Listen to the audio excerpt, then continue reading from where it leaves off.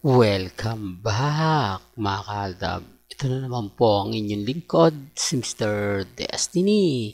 At magbibigay po tayo ng pinakamaraming update po ngayon sa social media. Ito yung pinaka-latest post ni Alden na may shoot nga po siya.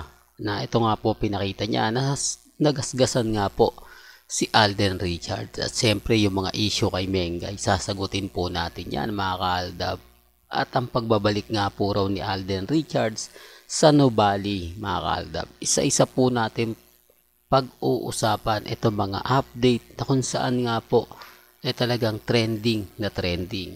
Di po ba ang pagsasama ng live ni na Alden Richards at ni Maine Polkerson. Unahin po natin itong post ni Alden na kung saan nga po pinagpepiestahan na sinasabing si Choco o si Gloco mga kaaldab na ang aso ni Maine Polkerson. Dito pa lang marami na nag-react eh. Di po ba? Kapag binabanggit yung aso, sino nga po ba una nag-alaga? Di po ba? Ini-issue po nila na si Mengay, hindi po si Alden Richards may alaga na po talagang aso yan. Real talk mga kaltab, si Mengay natuwa lang dahil ito yung sinasabi ko na kapag madalas ka sa bahay ng taong nag-aalaga at talagang nakikita mo yung pagmamahal na kapag dumarating ka, mag-aalaga ka rin, di po ba? Kaya sabi ko nga po sa inyo, couple nga po talaga sila. Eh. Kaya lang siyempre maraming magre-react, maraming nagko-komento na keso ganito, keso ganon, nag-post lang ng aso si Mengay, gaganti na ng aso si Alden. Di po ba? Ang kawawa nito, lagi mga kaldab si Alden ang binabanata nila. Alam niyo kung bakit? Kasi daw gumagaya Di po ba? Pero kung titignan nyo naman po at susuriin, si Alden Richards po ang maraming post ngayon sa Instagram. Di po ba? Gaya nga po na sinabi natin kanina, may shooting daw po ngayon si Alden Richards. Hindi natin alam kung ano nga po ba yung shoot na yan. Kung TV commercial o kumbaga ito na nga po ba yung rehearsal nila sa Bingo Plus. Di po ba? Sabi ko nga po sa inyo, may mga update po tayo na kumbaga laging ibinibigay. Di po ba? Sabi ko nga po sa inyo, relax lang po tayo sa dami ng ebidensya at resibo na magpapatunay nga po na kung sino nga po ba talaga yung totoong maraming update at kung yung walang kaganap-ganap. Di po ba? Si Mengay po, nag-post din po siya. Kaya It Bulaga lang po yung post niya. Hindi po katulad ni Alden Richards na yung post niya talagang umaayon po sa mga kaganapan. Kaya nga sabi ko nga po sa inyo, kampante lang eh. Hindi po ba? Relax lang. Kaya lang siyempre maraming mga bitter eh. Maraming galit na galit sa channel natin. Maraming inggit sa channel po natin. Dahil tayo nga po yung nakakakuha ng mga update, mga latest, di po ba? Kaya po affected sila kasi bago nga po sila, nauunahan na po natin. Siyempre kapag ako nagbigay ng update, 101% na hindi na po pwede pang sabihin na ganito kasi actual po nating pinapakita. Actual po nating sinasabi. Hindi po manggagaling pa sa iba. Di po ba? Kaya nga po ito sinasabi ko, nasa nubali na nga po raw si Alden Richards. Bakit ngayon niya lang to pinost? anong ibig niyang sabihin o pahayag na ngayon lang po talaga siya umuwi. Yan sinasabi ko mga kaaldab. Na February 13 po sila ni Mengay dumating sa Pilipinas. Di po ba? Kaya lang siyempre, hindi mo naman pwedeng ipagpilitan yan. Hindi mo naman pwedeng sabihin na ano yan, ganito, ganyan. Di po ba? Sabi ko nga po sa inyo, may mga bagay-bagay po na mahirap nga po talagang ipaliwanag. May mga bagay-bagay nga po na kung titignan naman po ninyo at susuriin, eh umaayon din po talaga kay Mr. Destiny. Hindi po ba? Kaya doon sa mga tao nagre-react, nagko-komento na si Alden, grabe napakaraming update, napakaraming post. Totoo naman po yun. Hindi po ba?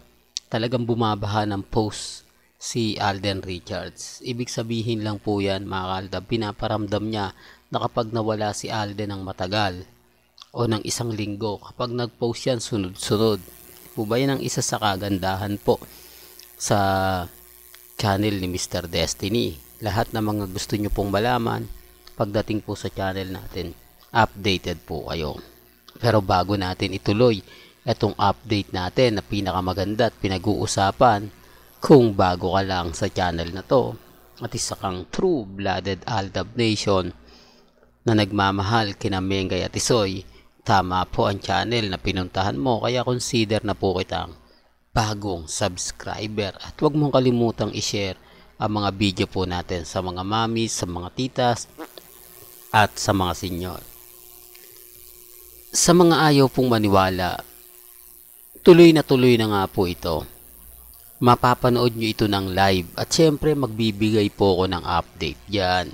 Hindi po pwedeng walang update si Mr. Destiny pagdating po sa bagay-bagay na ganyan. Kaya nga sabi ko dun sa mga nagtatanong, sa mga nagko-komento na Mr. Destiny, ganito ganyan, etc. etc.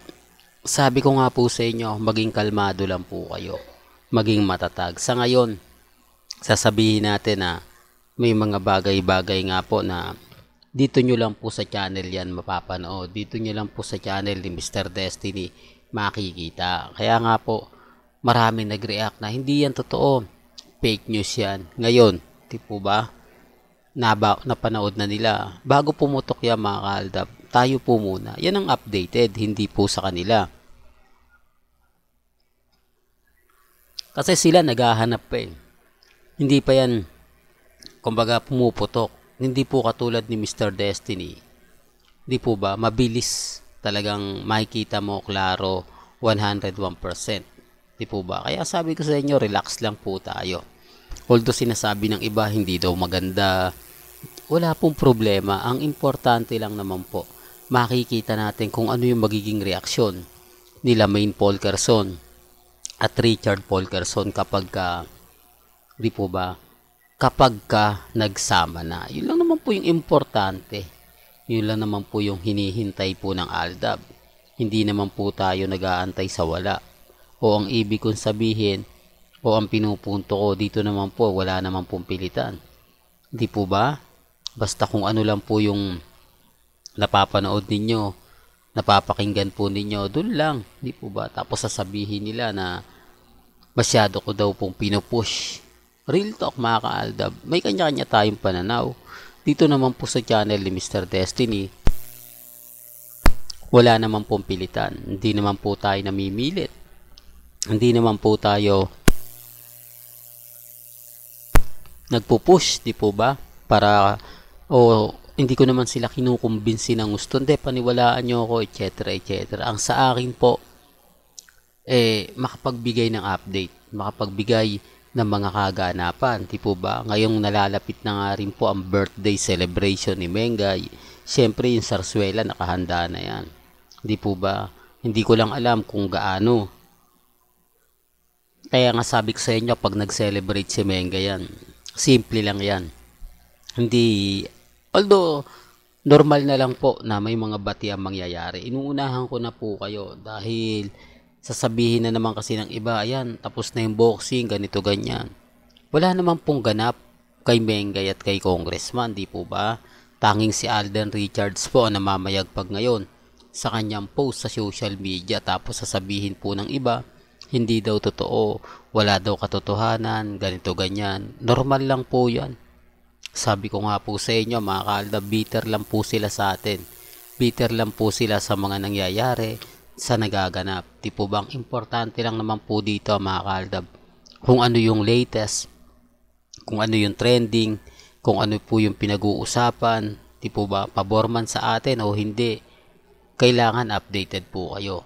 Kailangan full support pa rin kayo. Di po ba? Kaya sabi ko nga po sa inyo doon sa mga mamis na binabash, okay lang po yan. Kasi ako rin po, grabe rin po yung pambabas eh. Kaya wag nyo na lang pong pansinin.